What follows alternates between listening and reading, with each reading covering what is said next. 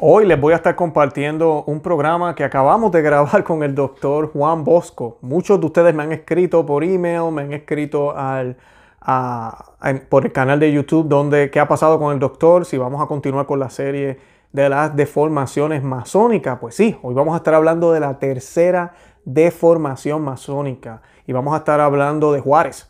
Así que ese es un excelentísimo programa.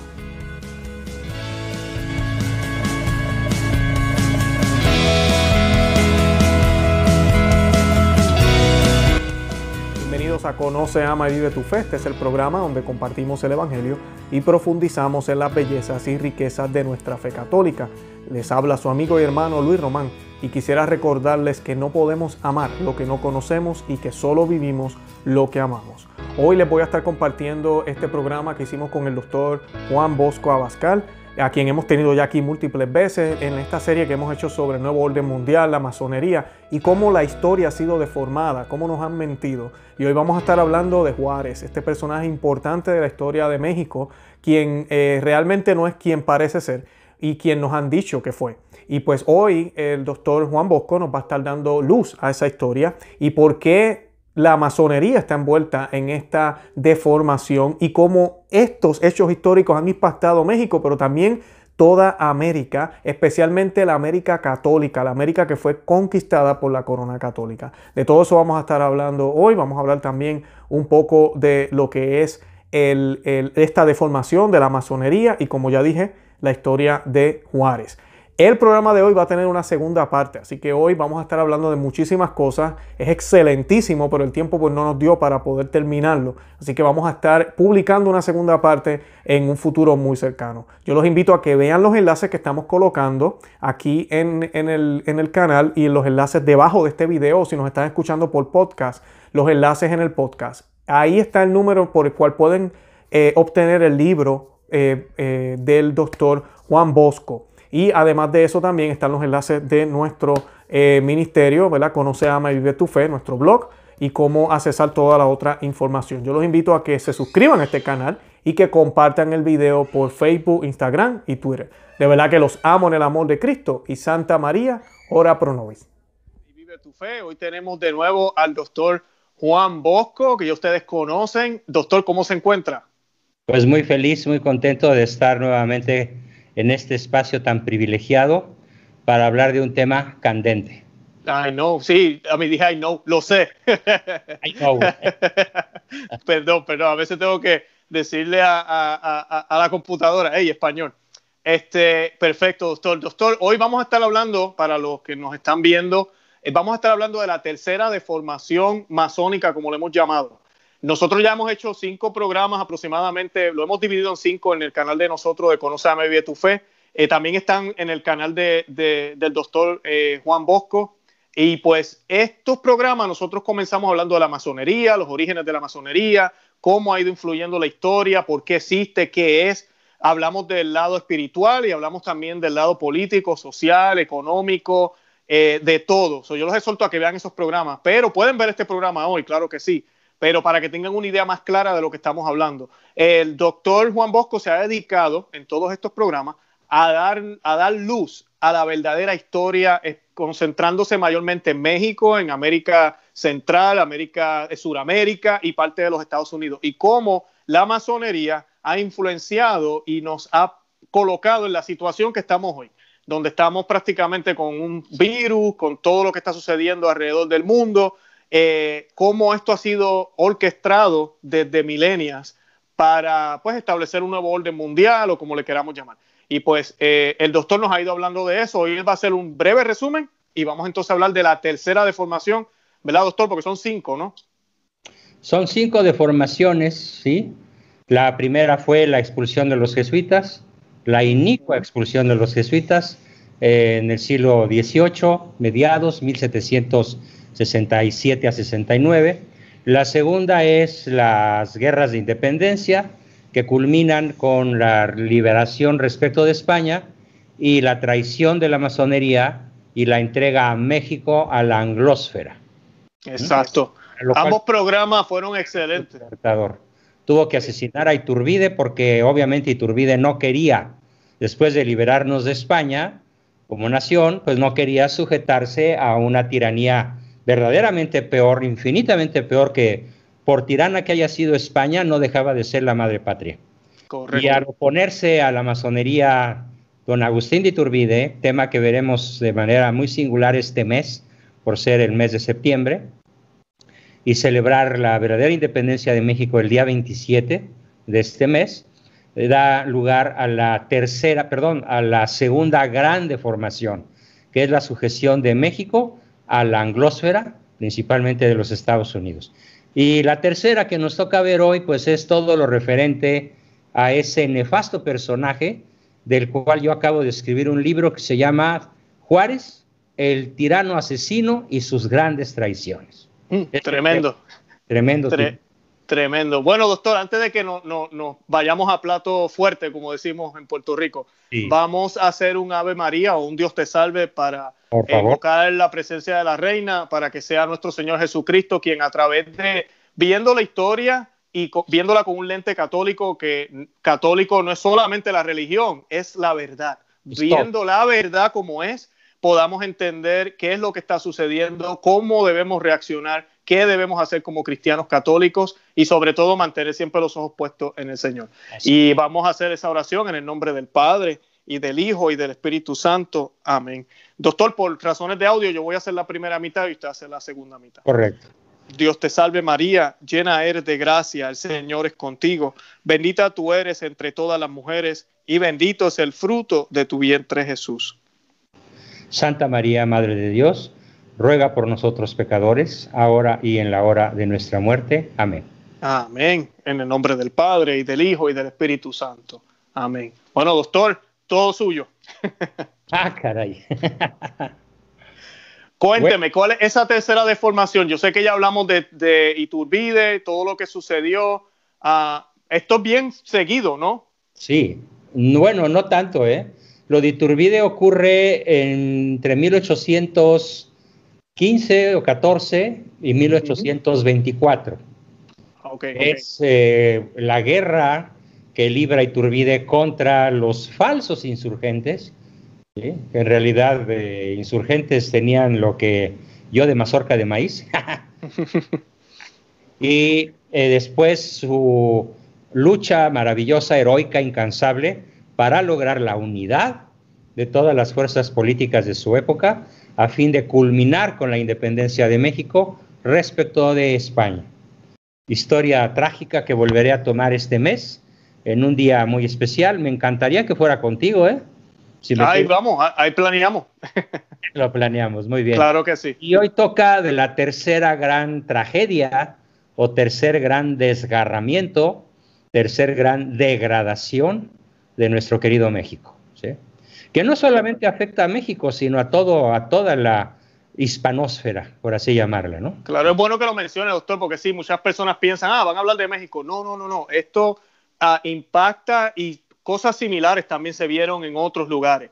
E impacta a toda América, especialmente la América católica, la que fue conquistada por la corona eh, católica. Así que es bien importante que veamos eso. Exactamente, sí. Pues muy bien. Bueno, pues comenzamos si gustas sin más preámbulo, con qué es eso de la, pues del mito del benemérito, ay Dios, la boca se me hace chicharrón cada vez que digo, em, el benemérito de las Américas, que de benemérito tiene absolutamente nada. Es la negación cada momento de su vida del heroísmo y de la virtud. Así que es un antihéroe.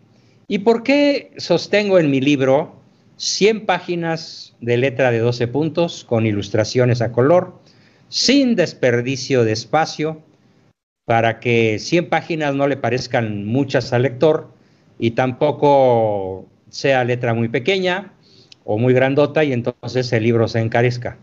Voy a hacer una introducción. ¿Por qué yo le llamo eh, Juárez el tirano? Segundo, asesino. Y tercero, traidor.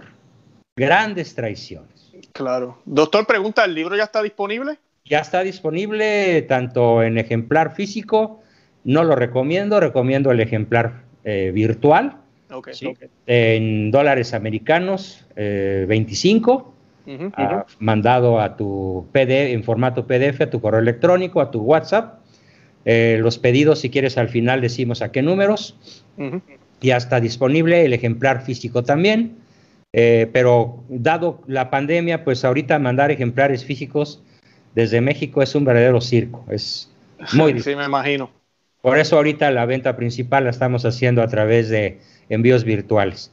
Pero bueno, en este libro, a manera de introducción, la voy a leer porque está muy bien pensada y bueno, bien redactada, por supuesto, y es una síntesis de todo lo que podemos explicar sobre él. Perfecto. Manuel Andrés López Obrador, el sujeto que actualmente funge sin merecerlo y sin serlo, porque realmente no es presidente, es un cirquero, pide llamar héroe nacional a Juárez. Nos lo quiere imponer. Y dice, la verdad dice, la verdad histórica nos dice algo totalmente opuesto a lo que él imagina como verdadero. Benito Juárez, ojo, nunca ganó una elección. Nunca, pero fue presidente varias veces. por tranza, por asesinato, por la muerte de algún adversario, por golpe armado. Fue presidente durante 14 años, o sea, más del doble de lo que actualmente de modo legal un presidente en México lo puede tener, y más del triple de lo que en Estados Unidos es el periodo normal. Claro. Y allá en cuatro años, pues 14 años implicarían tres periodos más la mitad de otro, ¿no? Sí, él, él fue el que número, eh, o sea, ¿qué presidente? No, no recuerdo qué número fue, pero su, historia más tremenda o más clara empieza en mil, a finales de la década de 1850 y tantos y culmina a principios de la década de los 70 con su muerte. Mm. Por cierto, una muerte muy trágica de la que ya les platicaré en su momento. Bueno, entonces Benito Juárez nunca ganó una elección. Así que si fue presidente varias veces y sin ganar nunca una elección, obviamente no fue en el sentido postmoderno del término un demócrata. Mm. Bien. Eh, y la última vez que fue presidente, la muerte lo agarró en medio de una revolución que pretendía derrocar con justicia por tirano. Si ya tenía una fama de tirano, en, sobre todo entre las Fuerzas Armadas, y ya no lo soportaban. Una vez más presidente.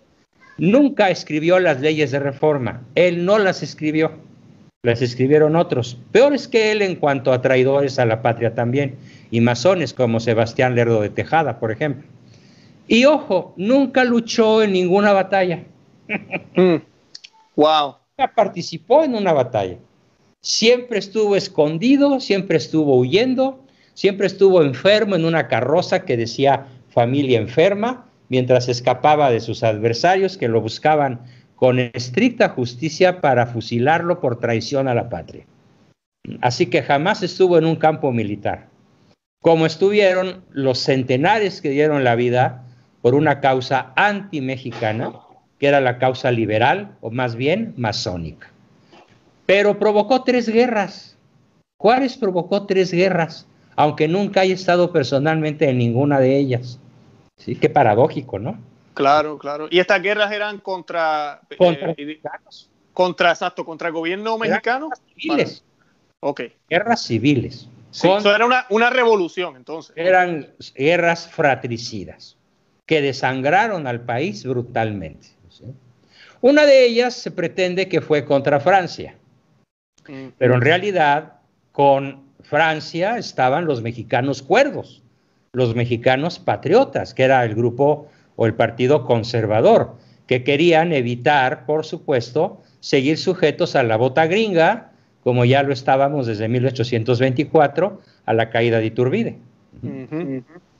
Nunca, ah, una de las guerras que provocó Juárez fue para imponerse a él mismo como presidente e imponer una constitución ilegítima a favor de la masonería a la que pertenecía. Y sobre todo, esta constitución que él pretendió imponer, que fue la de 1857, era radicalmente intolerante contra la religión de la mayoría del pueblo católico. Si estamos hablando que actualmente en el siglo XXI el 82% de los mexicanos nos reconocemos católicos, aunque solo el 8% lo practiquemos, si bien nos va, en aquella época el 98% era católico y el 70 o el 80% eran practicantes, hasta en las más humildes rancherías aunque fueran analfabetas o lo que quieras, y pobres, el México de esa época era un México clara, vibrante e inequívocamente católico, tanto en sus creencias como en sus dichos, como en sus hechos y en su fe. Entonces Juárez no era católico. Nació en el seno de una familia católica, de católico diésel, ¿no?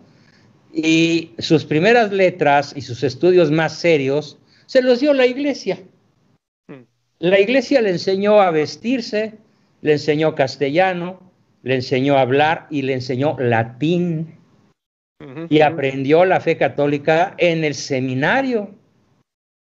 Y Juárez toda su vida guardó las apariencias de ser católico en lo que le convenía.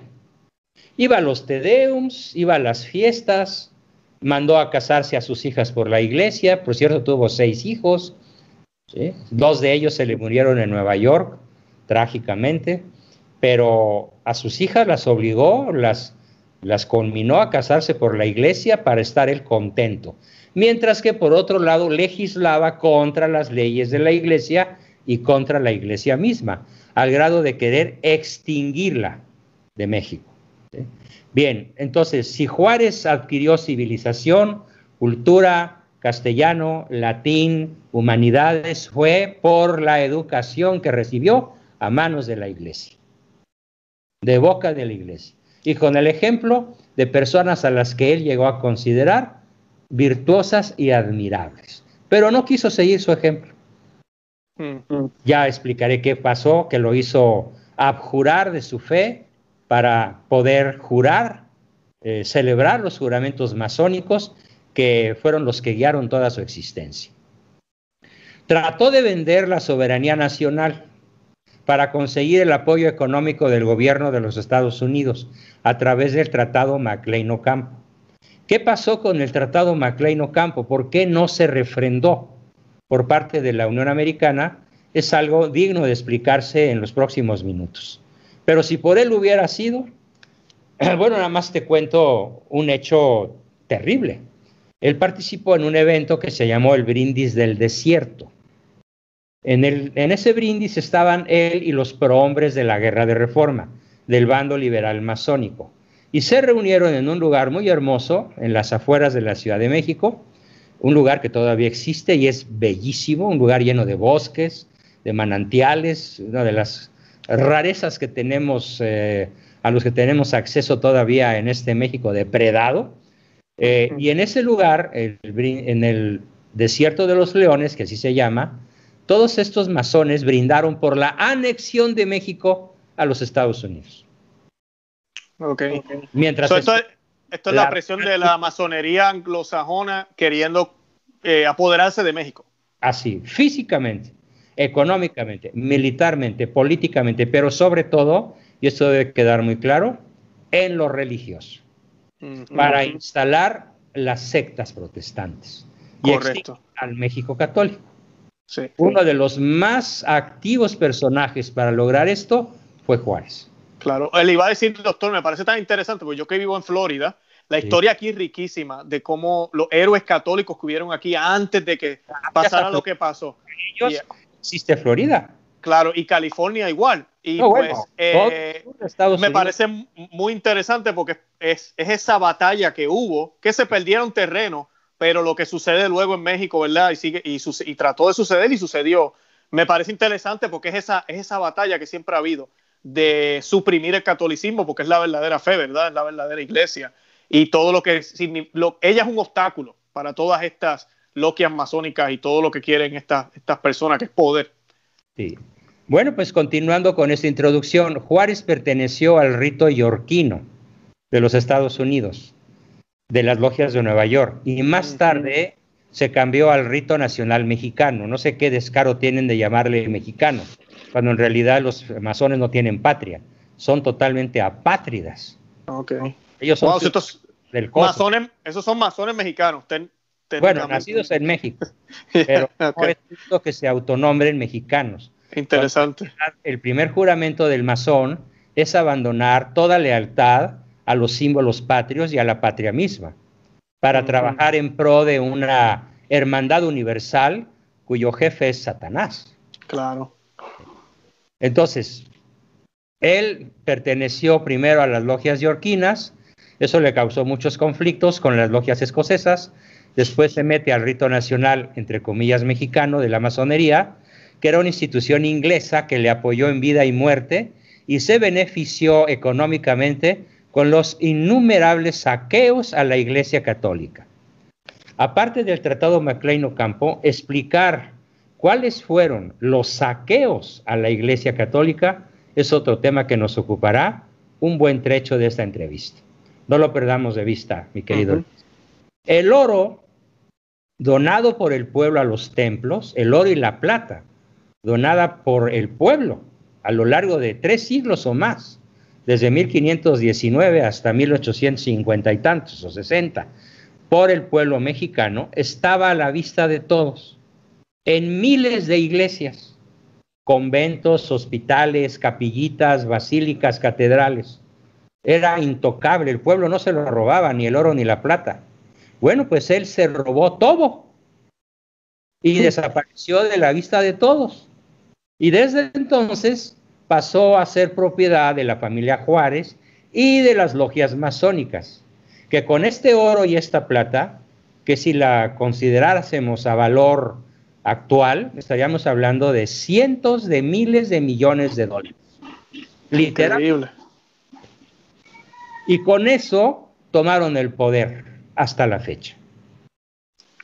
Lo, lo ratificaron todo el siglo XIX, lo ratificaron en la revolución de 1910 y sobre todo en estos momentos, desde que se aprovecharon, desde que desamortizaron, desde que saquearon a la iglesia, la masonería en México es una de las sociedades secretas más ricas y poderosas de la tierra. Wow, eh, doctor, este, esto es robarle a Dios. Yo sé que ellos no lo ven así, pero eso es lo que fue. Robarle al propio Dios al creador del universo. Eso es lo que hicieron. Sí, porque exterminan en gran medida el culto que le es debido a Dios. sí. Increíble. Al atacar físicamente a las iglesias, a los templos, a las catedrales, a las basílicas, a los conventos, a, a los que despojaron, como lo vamos a ver con cierto detalle, pues sí, es un robo a Dios porque impiden el legítimo culto a Dios que debe ser interno, hogareño y externo, público y popular. Correcto. Bien, este oro que pasó violentamente a manos de la familia Juárez, de sus corifeos, de sus achichincles y sicarios y de las logias masónicas, repito el concepto, les permitió tomar el poder secretamente y permanecer en él hasta la fecha. Con el apoyo de los USA, mandó fusilar al noble emperador Maximiliano I de México, eh, junto con el heroico expresidente Miguel Miramón, que ha sido el presidente más joven y heroico de toda nuestra historia, que merecería una entrevista especial al ver el lado bueno de nuestra historia, no, no ya las degradaciones, las tragedias o desastres, sino si nos dedicáramos a platicar de nuestros héroes, que son muy poquitos, pues uno de ellos sería Miguel Miramón. Y el general también, general Otomí, indígena de raza pura, don Tomás Mejía. También él fue fusilado en el Cerro de las Campanas de la manera más brutal, cruel e inhumana que te puedas imaginar, por mandato de Juárez. Siendo una de las personas más desleales, corruptas y felonas de la historia de México, es nombrado héroe nacional por la masonería mexicana desde 1917, una cosa así, por pseudo nacionalistas en todo el mundo y por el gobierno al que y por el gobierno masónico al que fielmente representa. Quiero citar cuáles son las fuentes de mi libro. O sea, en qué autores me basé. Sí, claro, eso es importante. Bueno, varios de ellos tuve el enorme gusto de conocerlos vivos. qué bien. Como a primero, el primero que cito es a don José Vasconcelos, a quien yo conocí personalmente a mis nueve años y él murió cuando yo tenía 16. Pero en todo ese lapso, en el que yo además trabajaba en la editorial Yus, donde mi padre era el gerente, y nos tocó revisar, a mí me tocó personalmente trabajar cientos de horas con don José corrigiendo sus libros para que pudieran ser impresos en linotipo, como se sabe en aquella época, donde no había computadoras, donde todas las letritas se vaciaban en lingotes de plomo y había una gran cantidad de errores porque los linotipistas eran medio analfabetas a veces, y entonces mi papel fue corregir las galeras pasarlas a planas y luego dar la orden de tírese, tírese para imprimir el libro. Pues en esos años yo aprendí la historia de México de don José Vasconcelos. Qué bien, no, y lo, hizo muy joven, estaba bien joven usted. Ah, cuando bueno, todavía, no estoy diciendo que, ¿verdad? No estoy diciendo que, ya, que ya no hay juventud, no me ponga, no, no estoy diciendo eso. La bola de años la tengo encima, pero me siento de 40, la verdad. Amén, qué bueno. Pero sí, el, el, trabajo que usted tuvo que hacer lo llevó a, a, aprender, eh, porque tenía que, tenía que leer los documentos. Se me pegaron en cada neurona. También pasé en las constituciones masónicas de Benito Juárez, que es un libro muy moderno, escrito apenas en el 2017 por Carlos Mújica, subdirector de recintos de la Secretaría de Hacienda y Crédito Público, mm. que además es un liberal. O sea, no es un católico. Interesante. Ah, por supuesto, imagínate. Pero él habla, él habla bien o mal de Juárez. No, bueno, habla bien, Exacto, ok. Por supuesto. Qué mejor, como dicen los homeópatas, ¿no? Similia, simili burcurantur. O como dice otro dicho, para que la cuña apriete, que sea del mismo palo. Claro. Pues me baso en sus propias confesiones para que les pueda yo explicar al pueblo de México que las constituciones de Benito Juárez son masónicas. Dicho por los masones mismos. Exacto, no es usted inventando aquí, ellos mismos lo dicen. No inventando nada. Yo me baso en su propio testimonio. Excelente, ya. muy bueno, muy bueno. Otro, eh, Benito Juárez, más que un aprendiz de masón, escrito en el 2008 por el doctor Carlos Francisco Martínez Moreno. También otro liberal que pues canta bonito sobre el asunto. Eh, otro libro formidable en el cual me baso, eh, pero no es el mejor, el mejor me lo estoy reservando, se llama Las grandes traiciones de Juárez, de otro maestro mío. Él ya era medio viejón, bueno, ya era un adulto cuando yo era joven, pero él escribió este libro y me tocó revisarlo como ocho veces en varias ediciones porque era un libro de mucho éxito. De hecho, yo termino mi trabajo con mi papá cuando yo cumplo 22 años, 21, 22, Después regreso, lo ayudo en Tradición, que es otra editorial que él tiene. Ahorita Tradición la tiene mi hermano José María, muy dignamente. Pero en todo lo que es eh, mi niñez, mi adolescencia y mi juventud, digamos que me la pasé estudiando historia con los mejores historiadores mexicanos. Don José Vasconcelos, don Celerino Salmerón y el mejor de todos, don Salvador Abascal Infante, mi padre. El mexicano, qué bien, qué bien afió a la revolución. Él escribió un total de 24 libros, de los cuales 18 son de historia. Tiene un libro en el que, del que tomo muchos de sus párrafos y lo cito. Cuando es textual, lo cito. Esto dice papá, esto dice don Salvador, y su libro se llama de una manera espeluznante, Juárez marxista. Mm. Porque Juárez fue marxista y trató de construir en México la antítesis de la ciudad católica, que es la ciudad de Dios desde el punto de vista de San Agustín. Claro, sí. Construir la ciudad del hombre, que en realidad es la ciudad de Lucifer, cuyo jefe es el demonio. Y esto es palabra de Cristo. Vuestro padre es Lucifer. Exacto. Pero mire qué relevante es todo esto, ¿no? Porque ahorita estas ideas marxistas están presentes en todo el mundo. Ahorita con todas estas revoluciones y protestas y todo lo que está pasando. Y en México el comunismo mediante el Foro de Sao Paulo y el Grupo de Puebla y la Cuatrote y el peje y el malo y todo el pastel de Morena que está secuestrando a México para el comunismo, ¿sí? Ese es el gran riesgo en el que ya estamos. Ah, correcto. estos momentos, las cifras de México comparado con el mundo son una catástrofe nacional. En educación, en seguridad, en salud, en economía, México en estos momentos es el infierno en la tierra. Gracias al comunismo marxista que Juárez procuró instalar en México en sus varias presidencias. Durante los 14 años que él fue presidente, su sueño dorado era hacer de México un país marxista. Esto muy pocas personas lo saben. Otro gran maestro que tuve y en el cual también me basé fue un señor de nombre Carlos Alvear Acevedo, que fue el escritor de libros de historia que más libros vendió para que los niños de aquella época, estoy hablando de la década de los 50, los 60 y todavía parte de los 70, aprendiéramos la otra historia, la no oficial. Y luego en Editorial Yus y Tradición, pues también tuve la suerte de conocer a monstruos de la pluma, como don Alfonso Taracena, don José Fuentes Mares, eh, y otro cuyo nombre, jesuita, cuyo nombre ahorita se me escapa, un famoso sacerdote historiador, pero no importa.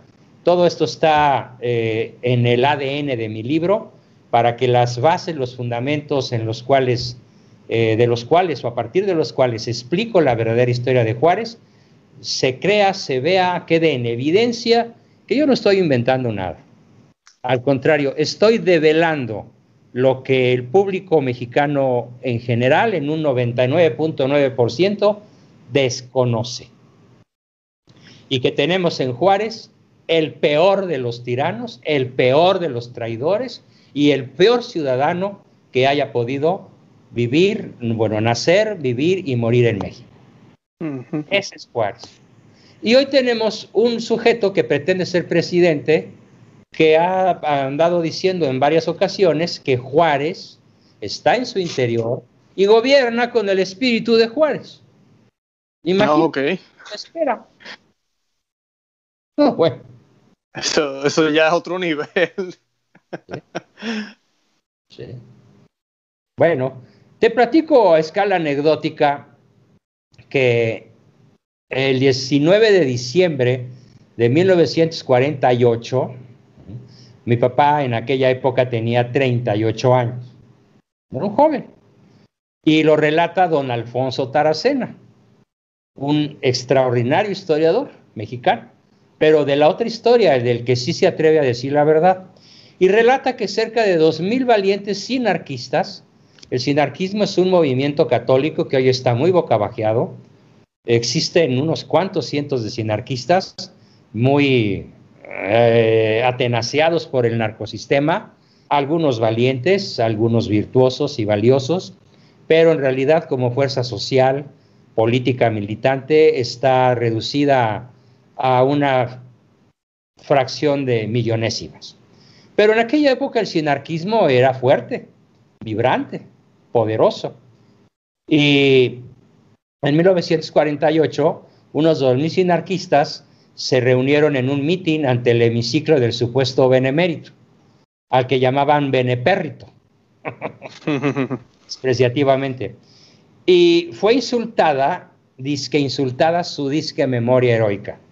Dijo un gran orador, un joven varón, este gran ladrón Juárez fue responsable de todo lo sucio que hay hoy en México en este tiempo, porque se dedicó a robar templos como ese que tenemos aquí enfrente, que se llama Corpus Christi. Y ese joven varón, valeroso miembro de la Unión Nacional Sinarquista, se trepó sobre la estatua de Juárez y después de escupirle tres veces en la cabeza, lo cubrió con un gran velo negro. ese joven era don Salvador Abascal Infante, el padre mexicano que desafió a la revolución. Qué bien, qué bien. Excelente. Excelente, eso es lo que necesitamos hoy.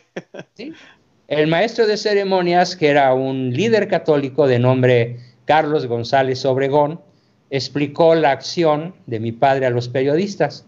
Les dijo, lo que pasa es que no queremos mirar a ese bandido ni queremos que él nos mire a nosotros. qué excelente, qué excelente. ¿Sí? Eh, bueno, la mayoría de los héroes falsos y de los héroes legítimos que han luchado en todos los lugares del mundo, nunca, casi nunca les ha tocado ver coronados sus esfuerzos. Por ejemplo, a Ricardo Corazón de León, un héroe inglés formidable de la época de las Cruzadas, pues no le tocó ver liberada a Jerusalén. A San Luis Rey de Francia tampoco. A Isabel la Católica, pues no le tocó ver eh, la aparición de la Virgen de Guadalupe en México. Y a muchísimos reyes, emperadores, héroes, científicos incluso, no les tocó ver el éxito de sus hazañas, la consolidación de sus sueños y el fruto de su heroísmo o de su genialidad científica. Pero a Juárez sí, sí le tocó disfrutar a manos llenas. En el colmo del poderío económico, político, social, militar y aún religioso, ver puestas en práctica sus más tenebrosas ideas, sus más tétricos y destructivos planes para la nación mexicana. ¿Qué fue lo que eh, logró disfrutar en vida esta especie de Yahvé zapoteco? Como ahora decimos el Mesías macuspano, refiriéndonos a Manuel Andrés. Mm. En aquella época llevaron a considerarlo el Yahvé zapoteco, que nos persigue con su dedo flamígero al mismo tiempo que nos grita apotegmas. Bueno, lo primero que debo decirles a todos los mexicanos de buen corazón y que quieran escucharme, porque muchos no me van a querer escuchar, ¿eh? Muchos en cuanto empiecen a escuchar que estoy destruyendo la imagen de su ídolo, me van a llenar de maldiciones en la red y qué bueno, bienvenidos los insultos. Será demostración de algo evidente, su impotencia, su ignorancia y su falta de argumentos. Bueno, pero lo primero que debo decir en honor a la verdad es que este infeliz, este desvergonzado, este sinvergüenza, perseguidor de la Iglesia Católica y por lo tanto anti-mexicano, mal nacido y desagradecido con la Madre Iglesia que le dio cultura, que le dio religión, que le dio latín, que le dio humanidades, que le dio castellano, que le enseñó a vestir y lo salvó de la miseria más atroz en la que había pasado sus primeros seis o siete años de vida, inventó, según él, una frase que ahora todo mundo cree que es de él. Entre las naciones como entre los individuos, el derecho al respeto ajeno es la paz. Pues, ¿qué creen, amigos? Él no la escribió.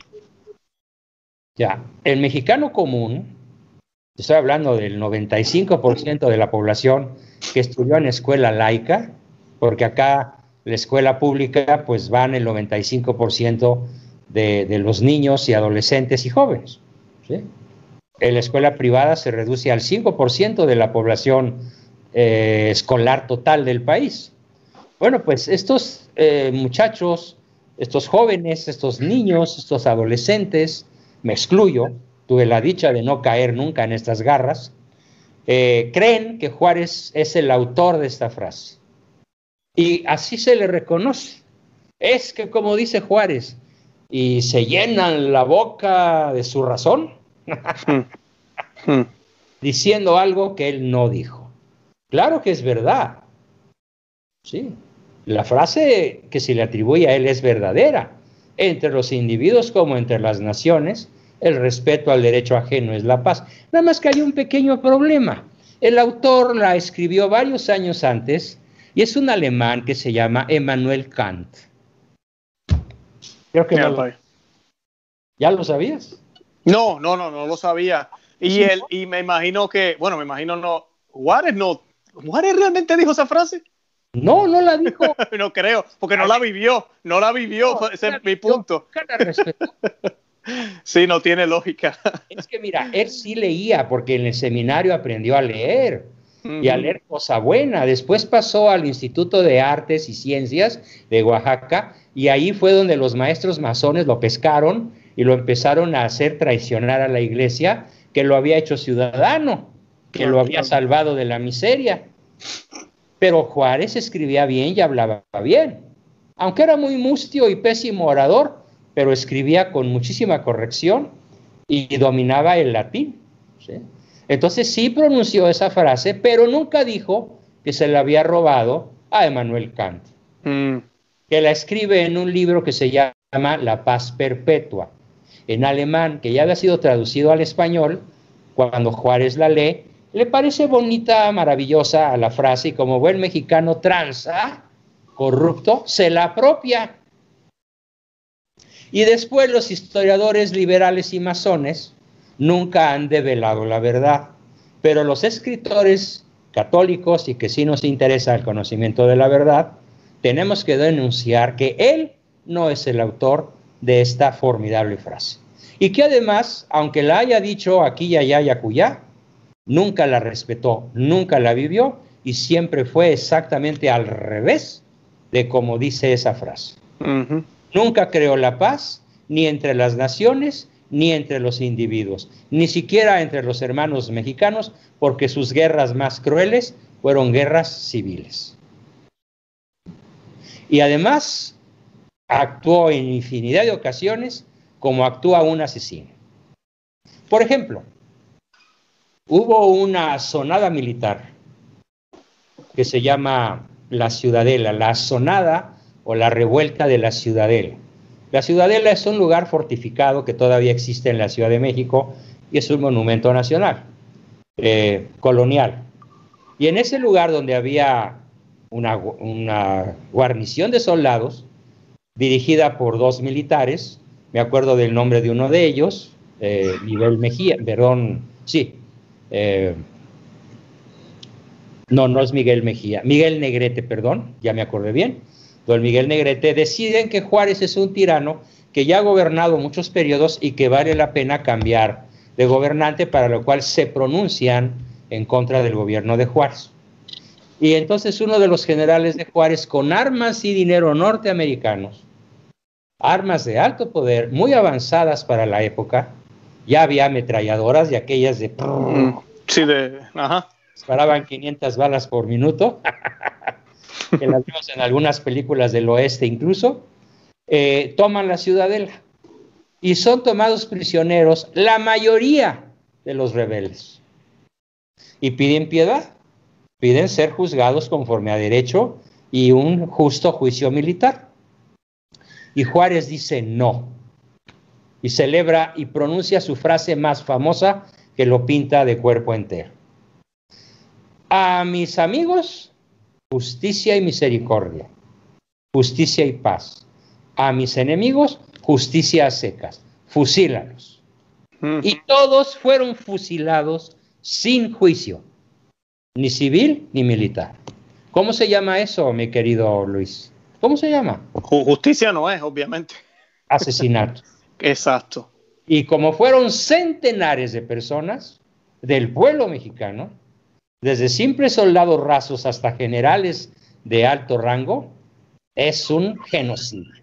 Claro. Entonces tenemos en Juárez un presidente genocida que ordenó al general Sostenes Rocha disparar a mansalva hasta que no quedara ni uno vivo. Eso se conoce como la matanza de la ciudadela, ordenada por Juárez. Para ese tiempo Juárez era, tenía, obviamente era, el presidente tenía eh, control del, de la milicia, del ejército. Y el ejército juarista estaba armado por el ejército americano. No, tenía todo, todo, tenía la ventaja, ya, así fueran menos, tenían todo el armamento. Cañones de largo alcance, eh, ligeros de transportar, con pólvora avanzada de la época, eh, ametralladoras, fusiles de aquellos que usaban para matar búfalos en las praderas, que tenían un alcance hasta de dos kilómetros. Sí, los gringos llegaron a tener armas verdaderamente formidables para la época, ¿no? Sí. Pues con esas armas, la masonería yanqui protegió, apoyó eh, y sostuvo a Juárez todos los años que él quiso. Esto que quede bien claro. Entonces, por eso lo llamo asesino. Hay otros asesinatos de los que también me voy a referir. Pero aquí queda entonces para mis amigos justicia y piedad, para mis enemigos justicia secas. Es el lema prototípico que obviamente es contra todo Estado de Derecho. Simplemente niega el Estado de Derecho. Bueno, pero hay otro incidente eh, que voy a narrar haciendo un poco referencia de lectura a esta página que no tiene desperdicio. Fíjate, en enero de 1994 era presidente Salinas y con el rostro demacrado se dirigió al Ejército Zapatista de Liberación Nacional para negociar. Y detrás de, de Salinas estaba un cuadro de Venustiano Carranza, responsable del asesinato de Zapata el 10 de abril de 1910. Pero cuando el 14 de marzo, ya firmados los acuerdos, el presidente Cedillo, Ernesto Cedillo, se tomó la fotografía donde va a negociar con los rebeldes indígenas, chapanecos en su mayoría, tiene como fondo el cuadro de Benito Juárez. Qué cosa más paradójica. Hmm. Es como si tú fueras a celebrar una santa misa con el cuadro de Lucifer a tus espaldas. Claro. si ahorita en lugar de tener un sagrado corazón detrás de ti, tuvieras a Belcebú o a Bafomet. Ya sabes quién es Bafomet, ¿no? Sí, claro, claro, sí, sí, sí. sí. masónico por excelencia. Sí. Bueno, pues así de grueso es esto. ¿Por qué? Bueno, pues voy a explicar por qué resulta verdaderamente un absurdo el que se celebre una paz con los indígenas teniendo el cuadro de Benito Juárez detrás. Y, sostengo la analogía. Me refiero entonces a realmente cómo fue Juárez con los indígenas. No perdamos de vista que Juárez es un indígena. Y por supuesto yo no tengo nada contra los indígenas, son mis hermanos. Y quedan aquí en México cuando menos unos 8 millones de personas que son yaquis, eh, que son eximis, que son eh, choros, que son, no sé, sempualtecas, tlaxcaltecas, cholultecas, mixtecas, totonacas, lo que quieras. Todas las etnias que había en México, de alguna manera, a la llegada de Cortés, hace 500 años, todas esas etnias tienen algunos representantes. Las más numerosas en estos momentos son las yaquis, la raza yaqui, y los mayos en el estado de Sonora, y han alcanzado un nivel de desarrollo agrícola importante, y son un núcleo indígena muy importante en México, pero que siempre desde Juárez han sido perseguidos por el narcosistema. Y les quiero contar una de las máximas acciones genocidas de Juárez. La leo tal cual. Adelante. La represión por parte de Juárez fue siempre el instrumento preferido del gobierno encabezado por él la represión militar hasta la extinción física de sus adversarios reales o imaginarios. Ejemplo, tenemos la matanza de Bacum, el 14, perdón, a mediados de febrero de 1868, cuando más de mil indígenas yaquis y mayos, en rebeldía por la defensa de sus tierras, fueron encerrados por el ejército en una iglesia en el pueblecito de Bacum, Sonora. Y luego, con el uso de artillería, el edificio fue destruido e incendiado y todos sus ocupantes, indígenas, hombres, mujeres y niños, murieron calcinados. Orden de Juárez, que envió un ejército de mercenarios al pueblo de Bacum para reprimir la rebelión yaqui, que era justa. Querían sus tierras, querían su agua. De hecho, en ese lugar corren dos de los ríos más caudalosos de México, que son el río Yaqui y el río Mayo. y que forman una franja de tierra de cientos de miles o tal vez millones de hectáreas, que es donde mejor se da la agricultura en nuestro país, en el estado de Sonora. Y desde luego, pues los ah, predecesores de, las drogas, ¿no? Es un lugar atascado de drogas también, al tal grado que le llaman el Triángulo Dorado a ese ah, lugar. Wow, claro. Por la cantidad de billetes que produce, eh, con el tráfico de drogas, en los cuales los mexicanos, y no es nada honroso decirlo, son los mejores narcotraficantes de la tierra. Los que tienen más espacio, más dinero, más poder, más ubicuidad, más aviones, más submarinos, más túneles y más catapultas romanas para brincarse el muro de Trump. Sí, es cierto. Es triste, ¿verdad? Antes era, ¿verdad? Hace unos 40 años tal vez Colombia, ahora es México. Ah, sí, ahora es México. Bueno, pues entonces eh, te cuento que, ojo, al conocer la noticia de la matanza por parte de un jefe militar, bueno, del jefe militar, era un ejército poderoso de más de 1.500 hombres, armado con artillería gringa, moderna.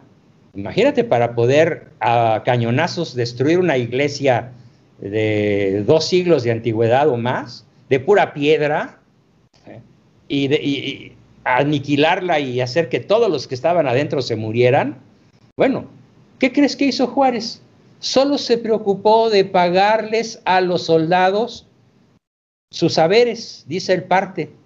Al conocer la noticia de la matanza por parte del jefe militar, Juárez solo se preocupó porque se le pagaran los saberes al comandante de las fuerzas de gobierno y a los soldados.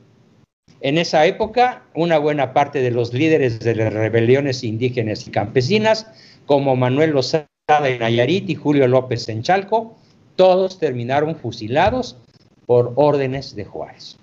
Y sus familias aniquiladas y perseguidas también por órdenes de Juárez. Así que si el espíritu de Juárez gobierna a través del pecho del presidente actual, bueno, del payaso este que funge como presidente, nos explicamos por qué ha tenido tres actitudes genocidas el actual mal. Primera, la más terrible de todas, que quiebren las empresas que tengan que quebrar. Fíjate nada más que tragedia. Esto implica cientos de miles de empleos perdidos y alrededor de medio millón de empresas quebradas. Que quiebren las empresas que tengan que quebrar. Esto es un genocidio, porque tenemos que se suman a los pobres que ya había otros 18 millones de pobres es un genocidio. Otro. Ah, no, no, no, el virus es un simple, una gripita. Salgan a las calles, vayan a los restaurantes, abrácense. Aquí vamos a detener el virus con un escapulario, con un detente. Sagrado Corazón de Jesús, que estás conmigo, ¿eh? haz que el enemigo no nos alcance, o algo así. Así es como vamos a derrotar al virus de la peste china y ayer llegamos a la cifra de 66 mil muertos. Ocupamos ya el tercer lugar después de Estados Unidos y Brasil en cantidad de muertos. A ciencia y paciencia del gobernante que gobierna con el espíritu de Juárez. Y otro genocidio, a los narcos solo abrazos y no balazos. Y lo único que les vamos a decir a las abuelitas y a las mamás de los narcos es que ya dejen de hacer fechorías. Mm. Y ahorita México en estos momentos tiene un promedio de 100 asesinatos diarios desde que este señor tomó la presidencia y ya van más de 60 mil asesinatos. A un promedio de 100 diarios. Entonces, por eso sí le creo que Juárez gobierna a través de la memoria, la inteligencia, muy reducida por cierto, el espíritu masónico y las vísceras de, malo, claro que ahí está Juárez, tan genocida este como aquel. Debo dejar perfectamente clara la analogía. ¿Qué espíritu los gobierna a los dos? El espíritu de Bajomet, el espíritu del demonio, porque como lo dice Cristo, vuestro padre, vuestro jefe es Lucifer. ¿Sabes qué, doctora Bascal? Que eh, la, esa mentalidad, e, estos marxistas de hoy en día, es increíble. porque ellos se disfrazan bajo ese pacifismo. Eh, no vamos a confiar en esto, hasta pueden mencionar a Dios, ya vamos a, confiar en Dios. Y en ningún momento nosotros los católicos creemos que no tenemos que actuar, que no tenemos que hacer lo que tenemos que hacer. Eh, siempre yo le, cuento a la gente la frase de San Agustín que decía, ¿verdad? Eh, ora como si todo dependiera de Dios, pero trabaja como si todo dependiera de ti. Es, es eso, es trabajar, pero tener la fe puesta en Dios, pero trabajar, hay que hacer algo, no podemos quedarnos quietos. Y, Cristo nos da el mejor ejemplo, haciendo la voluntad del Padre, pero con acciones, no quieto, sentado y dejando que cada cual se resuelva lo suyo. Y a veces estas personas, estos gobernantes, eso es lo que hacen, utilizan todo este tipo de palabras y movimientos y pareciera que, ay, mira, pero él lo que está buscando es la unidad, ay, él lo que está buscando es que logremos reconciliarnos. Y lo que están haciendo es destruyendo. Es un genocidio, como dice usted. Es exactamente eso. Eh, y así nos engaña el demonio, porque no parece eso, pero eso mismo es, si nos ponemos a mirar lo que está sucediendo, porque las estadísticas no muenten. Así es. Ahora, fíjate cómo no nos podemos explicar al México actual sin el México de Juárez. No, yo no me puedo explicar sin mi bisabuelo o mi tatarabuelo. En términos históricos, la tragedia del México de hoy es la tragedia que creó Juárez. Con la sujeción de la iglesia al Estado, con la ley del divorcio, con el saqueo que hizo de toda la riqueza física, espiritual e intelectual de la iglesia, y con su personalidad psicopática al frente de una nación tan maravillosa y rica como fue durante los tres siglos de la colonia. Hay un autor en el que también me baso, no lo mencioné a propósito, sino hasta ahorita. Mm. Este autor se llama Francisco Bulnes. Y si bien no tuve en mis manos el libro que él escribe, que es un librote así de casi mil hojas, que se llama El verdadero Juárez. Mm. Así se llama este libro, escrito por don Francisco Bulnes, hace como 100 años. Lo escribió. Bulnes fue, fue amigo de Juárez. Se puede decir que fue de los amigos más cercanos de Juárez, que lo sobrevive. Ya murió, Bulnes murió muy anciano, pero tuvo eh, tiempo de escribir todo lo que vio de Juárez. Y aquí voy a, a explicar dos cosas.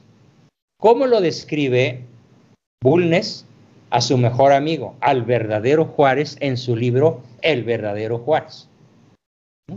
Ahí te va. Adelante. Dice Francisco Bulnes. Juárez es un Buda zapoteco y laico.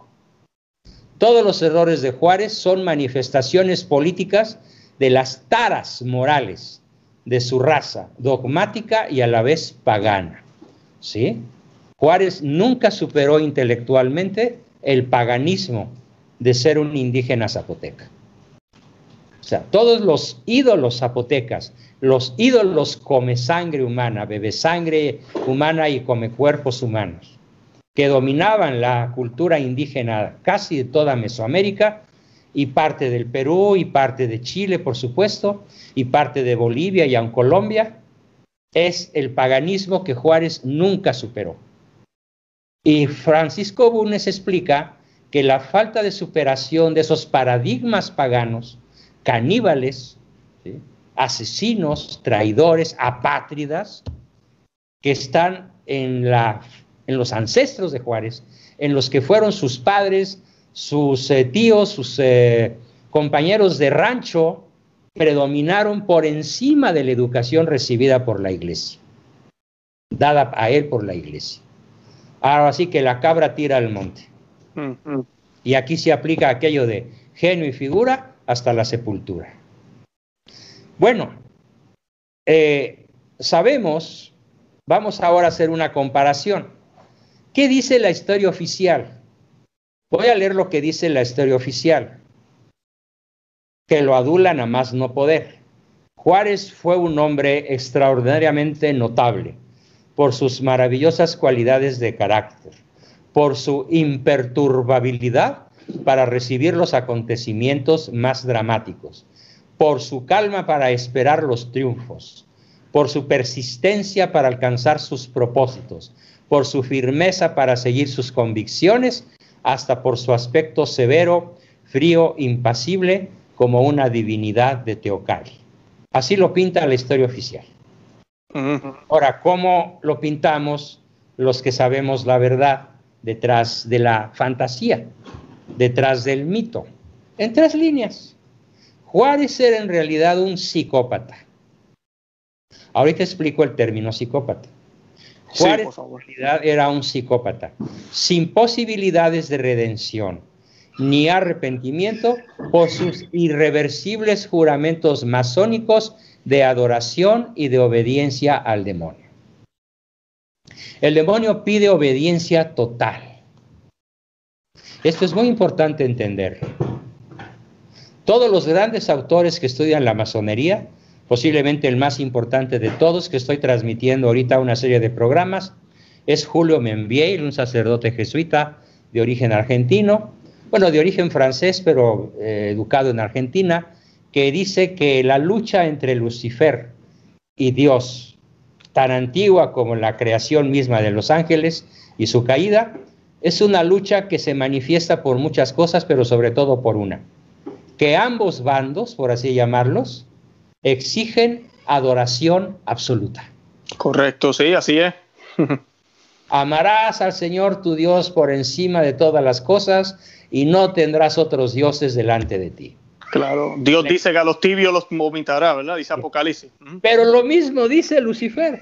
Claro, también. ¿Por qué? Porque para Lucifer, Lucifer es Dios. Y ahí te va la verdadera personalidad de Juárez. Lo describí como un psicópata.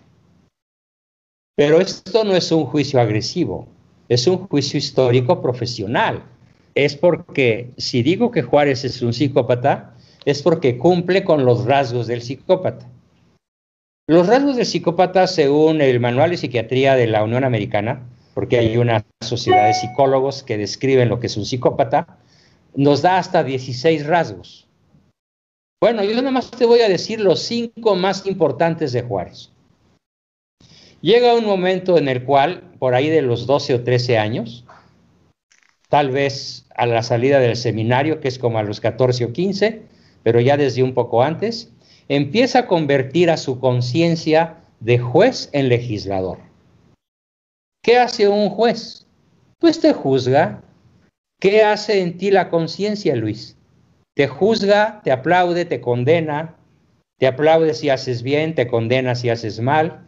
Y es una voz que no puedes acallar. Yo tampoco. Ninguna persona cuerda, ninguna persona no psicópata puede acallar la voz de su conciencia. Pero el psicópata sí. Ese es el primer rasgo del psicópata. El psicópata no tiene por conciencia un juez tiene por conciencia un legislador. Y esto se remonta al pecado de Eva. ¿Qué es lo que hace Eva? Legislar, querer ser Dios. Sí. ¿Qué es la ideología de género? Legislar. La criatura deja de ser criatura y se reinventa como la criatura quiere. A entero capricho de sus impulsos más animales, más bestiales. Claro. Creyendo saber lo que es bueno y lo que es malo. Exacto. No. Nosotros sabemos lo que es bueno y lo que es malo. Perdón que te corrija ahí. No, adelante. El, psicópata lo diseña. Exacto, ok. El psicópata decide lo que está bien y lo que está mal. Correcto, ya. Por eso vemos ahora que está todo al revés, ¿verdad? Prácticamente. El bien es mal, el mal es bien. Un amigo mío acaba de ser censurado por eh, YouTube, lo castigaron ocho días sin poder subir nada a su canal porque se atrevió a hacer una crítica que se llama Disney Gate.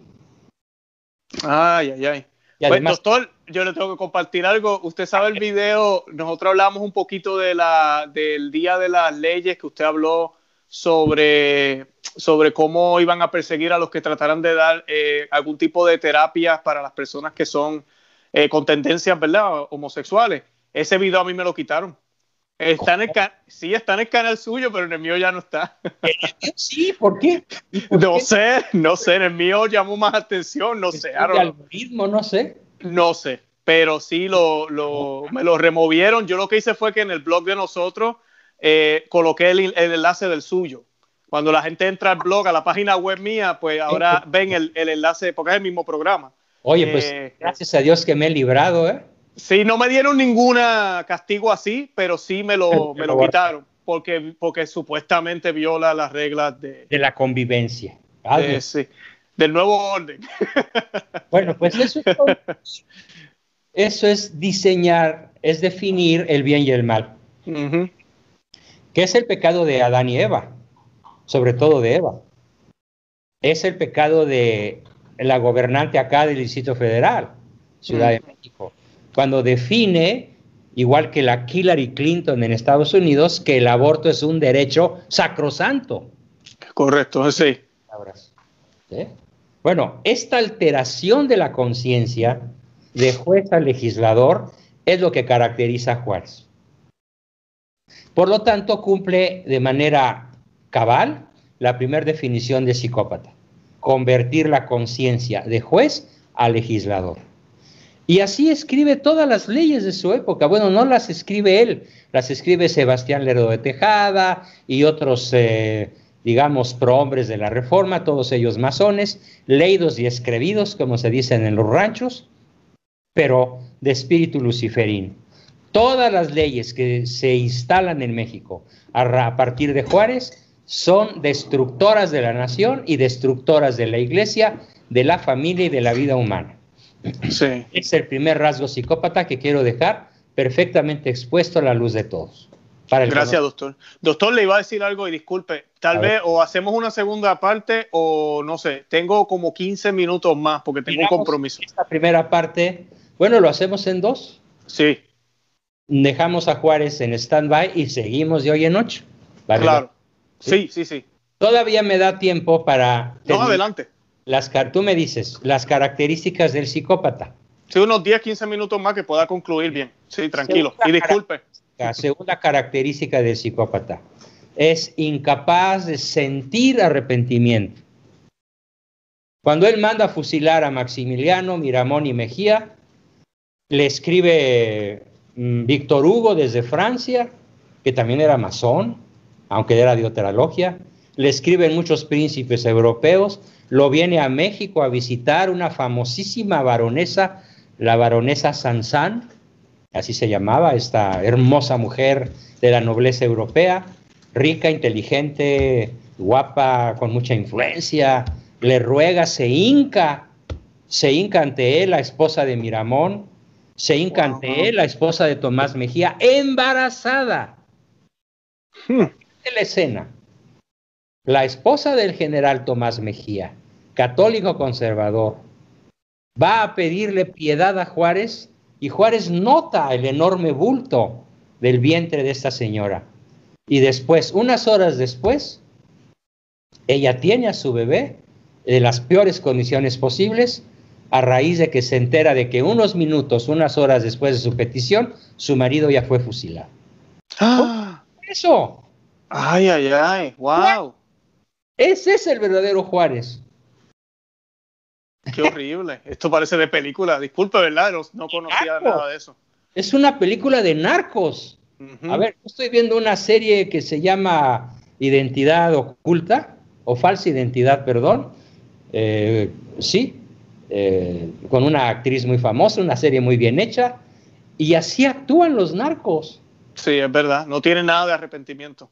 Cero. Y, otra cosa, aparte de que no tienen arrepentimiento, el tercer rasgo del psicópata es la ausencia absoluta de empatía. ¿Qué es la empatía? La empatía se da en tres niveles. La empatía de saber lo que a ti te pasa y darte un consejo intelectual, una caricia, un apapacho. La empatía de segundo nivel, sentir lo que tú sientes y consolarte. Empatía de tercer nivel, saber, sentir y hacer algo para ayudarte a resolver tu problema. Y en esta empatía de tercer nivel, la persona que se va de tu lado después de haber estado contigo persona empática se va contenta, se va feliz, se va con su problema resuelto, se va con una esperanza y se va sabiendo qué hacer. Juárez no tenía empatía ni de primer nivel. Mm. ¿Qué le pasaba a la señora que le va a pedir piedad, a la esposa de Miramón? ¿Qué le pasaba a la señora de Mejía que le va a pedir piedad embarazada? ¿Qué le pasaba a la esposa de Maximiliano que recorre todas las cortes de Europa pidiendo piedad para su marido, el archiduque eh, Maximiliano de Habsburgo? A él le vale gorro, una pura y dos con sal. Pero no es un acto intencional la impiedad, es que no siente nada. Quiero que quede bien claro. Esto es una patología mortífera. No es locura, es locura del espíritu, del alma. Es maldad y perversidad. La falta mm. de compasión, de piedad, de empatía para el que sufre. Es lo que más pinta a Juárez. Su impiedad ante el vencido. Quiero que quede muy claro, y esto es exactamente lo mismo que hoy vivimos en México con Manuel Andrés López Obrador. Que quiebran las empresas que tengan que quebrar. No hay, como en Estados Unidos sí lo hay. Oye, Trump se ha visto grandioso en cómo ha ayudado a toda la gente. Sí, es verdad, no, sí. Aunque el precio lo vamos a pagar luego, pero él está haciendo lo que puede hacer ahora. Pero es lo que se puede hacer. Sí, es cierto. No ha dejado morir a las familias no ha dejado a los desempleados, que son ya como 50 millones o no sé cuántos. Sí, sí, esto da miedo a la estadística. Da miedo a la estadística. Pues Trump, que tiene sentimientos, porque no es un psicópata, aunque algunos dicen que le falten nueve de cada diez tornillos, pero está, cosa con la que yo no coincido, tiene sus... No, yo tampoco. Pero es un hombre pro vida, pro matrimonio, pro familia y sobre todo por USA y por su patria. Yo estoy de acuerdo en que luche por su patria. Está en su papel, además es el presidente y jefe de las Fuerzas Armadas. por si fuera poco, ¿no? Claro. Y me dio mucha rabia que un general desobedeciera su mandato ejecutivo de detener a los terroristas de Activa o de estos de Black Lives Matter. Si ¿Sí supiste que se negó un general a obedecer. Sí, sí. Qué terrible, ¿no? No, terrible, terrible, terrible, ya. Terribilísimo. Eso mismo. Gracias. bueno, entonces Juárez es de juez a legislador en la conciencia, incapaz de arrepentirse, con absoluta falta de empatía. Cuarto, le encanta como al actual ver sufrir a sus adversarios sea, si algo disfruta el peje y todas las mañaneras con su sonrisa cínica, sarcástica, brutal, es ver cómo los empresarios pequeños, los mini empresarios, los empresarios medios y las grandes empresas están quebrando en México y engrosando las filas de la miseria y lo disfruta. Como dice esta chava Laura en América, que pase el desgraciado. En su talk show, ¿no? Pues que y que sea enjuiciado por la nación o cuando menos por la historia cuando tenga que rendir cuentas. Porque del juicio de la historia y del juicio de Dios no se va a escapar. Aunque escape del juicio de su propia conciencia porque no la tiene. ¿Qué tiene en vez de la conciencia? Una mente que hace leyes a modo para él. Quiero a mexicanos que se den cuenta que este es el presidente que escogieron los chairos y los analfabestias. Llevados a este nivel de analfabestialismo por la inducción de un gobierno a lo largo de 92 años, desde el Pacto de los Generales, del que hablaremos cuando veamos la cuarta de formación, que es la Revolución Mexicana. Perfecto. Y un rasgo más del psicópata. Eh, en el caso de Juárez, él se considera tener siempre la verdad y nadie más la tiene excepto él. Poseedor absoluto no de la verdad, sino de su verdad. Aquí lo importante es explicar. La verdad existe, y es independiente de toda la humanidad. Ejemplo, cuando el planeta era considerado plano, el planeta se reía de todos diciéndoles, éjele, soy redondo. Correcto, sí, no cambió. no cambió. O sea, no se volvió redondo cuando se descubrió que lo era. Ya existía. Pero la verdad es independiente de ti y de mí, de cualquiera otro. Es anterior a mí y a ti, y es superior a ti y a mí y a cualquier persona. Pero esta verdad ontológica, este señor la desconoce. ¿Y qué instala en su lugar? Su opinión y la eleva a la categoría de verdad absoluta. Hmm. Entonces, todo aquel y se vuelve una especie de Mesías cuando dice, lo acabo de decir hace unas semanas, el que no está conmigo está contra mí. Firma Jesucristo. Sí, ¿sabe qué, doctor? Eso se ve aquí también, en, bueno, en todos los países, con esto de Black Lives Matter, es como una religión. Tú tienes que recitar el credo de ellos, subir el puño, si no lo subes, este, te vamos a matar, sí, te vamos a cancelar. Eh, es, ¿Estás con nosotros o estás en contra? Es como una religión, es una religión, más peor, porque es satánica. Sí, satánica. bueno, pues, el Señor tiene su secta satánica, nada más que la sede de la secta satánica de los eh, Black Lives Matter está en las calles o tal vez en alguna logia por ahí, pero la sede de este señor está en Palacio Nacional. Claro, claro. Pues es lo más terrorífico, en la más alta tribuna de la nación, en el palacio más hermoso de América Latina, porque el Palacio Nacional es una joya que no tiene rival, ¿eh? Ni en Buenos Aires, ni en Lima, ni en Quito, ningún palacio virreinal tiene el tamaño, la categoría, la riqueza, la magnificencia del Palacio Nacional Mexicano. Qué bien. No lo digo yo, ¿eh? lo reconoce la ONU, la UNESCO y otras organizaciones. Ah, pues vive el Señor creyéndose Dios, literalmente. Y lo último que quiero decir acerca de este nefasto personaje es eh, algo que platiqué con un masón que fue mi amigo y ya no lo es.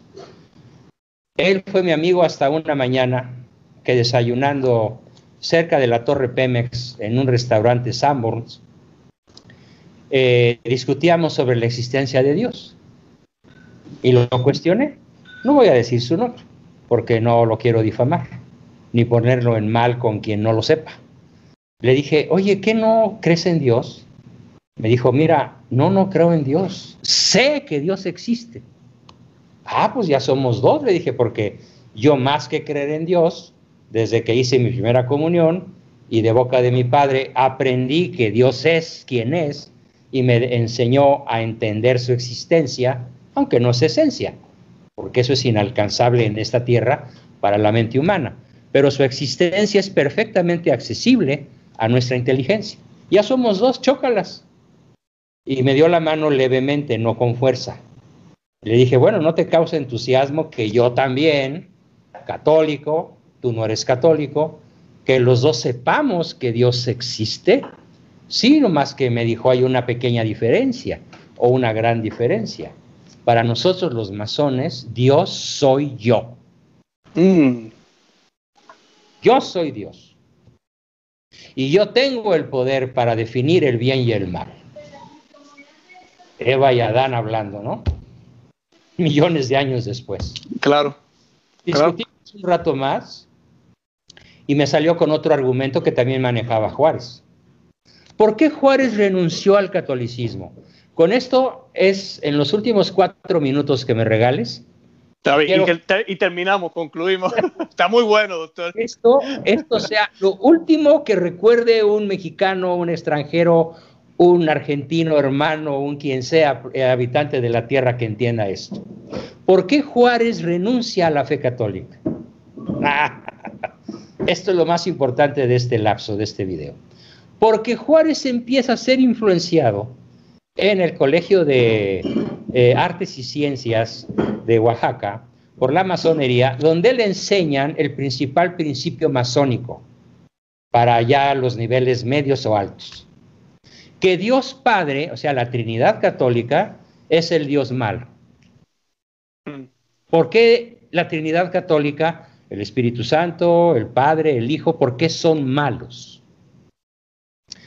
Porque te dieron libertad, te dieron libre albedrío, te dieron inteligencia. Pero si te atreves a utilizar tu libre albedrío para hacer algo distinto a lo que la Trinidad quiere, te vas al infierno. El gran problema de Juárez fue el horror al infierno. Pero descubrió la solución. ¿Y cuál es la solución masónica? Que convirtió a Juárez a la masonería. Ah, pues creer en el Dios bueno. ¿Quién es el Dios bueno? El que te dice, puedes hacer con tu cuerpo lo que quieras.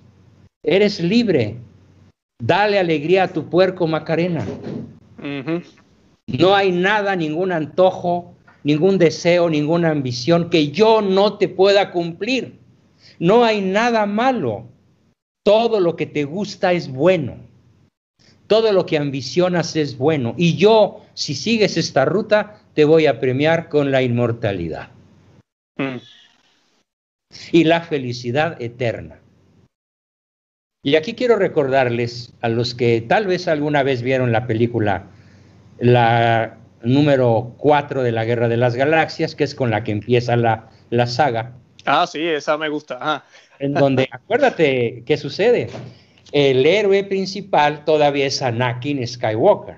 El más rápido, el más inteligente, el más veloz, el que llegará a ser Darth Vader, o como le digo yo, Darth Bartlett, ¿no? Ah, sí. Alusión al asesino mexicano que tenemos por acá, impedido a pasar a los Estados Unidos precisamente porque se sabe que es un asesino. Bueno, pues el príncipe Lord Sid, el rey de, los, de las tinieblas, ¿te acuerdas de Lord Sid? Claro, claro, sí. Le promete la salud y la inmortalidad para la princesa Padmé, que está muriendo. Nada más le pone una condición. Tienes que matar a todos los eh, guerreros Yenai chiquitos. ¿Cómo se llamaban? Los... son aprendices, los aprendices, pero no me acuerdo el nombre. Pero hay un nombre que usa la serie para referirse a ellos. Padawan, ah, no, los padawanes eran los maestros. Eran los otros. No, sí.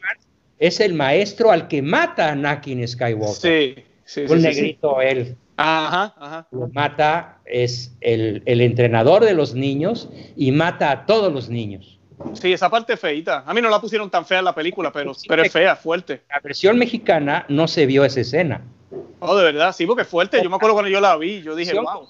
En la versión original, incluso se puede ver en Netflix, sí está la escena de la matanza y es terror. Sí, son niños en el suelo y él tiene los ojos rojos y uy, no. Sí, sí, sí. Bueno, y entonces cuando él dice, ah, pues yo ya cumplí mi misión, yo ya hice lo que Lord Sid me pidió para que mi princesa tenga la inmortalidad, la salud y la inmortalidad, y yo también. Y va y se presenta con Lord Sid, pero en el camino ve que su princesa ha muerto y que él está enfermándose y va a morir tarde o temprano. Y le dice, oye, pero es que tú me prometiste la vida, la salud y la inmortalidad. ¿Te acuerdas de qué le contesta Lord Sid? No, no recuerdo exactamente las palabras. exactamente las palabras. Lo siento mucho, así paga el diablo. bueno, pues yo le deseo a todos los príncipes del arco real que hoy gobiernan México y el mundo entero, y frente a los cuales está Trump luchando a brazo partido en forma heroica. Mi saludo, señor Trump, a su heroísmo, al menos en ese ámbito de la lucha contra el mal. Acá en México tenemos sujetos que creen que ellos son Dios y que el Dios malo es nuestra Santísima Trinidad y que el Dios bueno es Lucifer, al cual obedecen, adoran, le rinden culto y cuya venida están preparando. Con el marxismo, el comunismo, la ideología de género, el relativismo moral, la degradación de las costumbres, el matrimonio homosexual y todas las perversidades que hoy son llamadas buenas y correctas, políticamente correctas, y que este sistema, este narcosistema, busca instalar a través de su ministra eh, Diablocheslova, mejor conocida como Olga Sánchez Cordero, incluso desde el kinder. La, es. la obra desde Juárez hasta el momento es la obra de Lucifer. Así es. más cuál va a ser nuestra revancha, Luis. Cuando un día, no sé cuándo, porque no soy profeta, le reclamen a su deidad, oye, pero es que tú me prometiste. Y que les conteste lo que Lord Sid le contesta a Anakin Skywalker, posteriormente Darth Vader. ¿Qué quieres? Así paga el diablo. Oremos para que a tiempo se arrepientan y reconozcan que el Dios bueno no es Lucifer.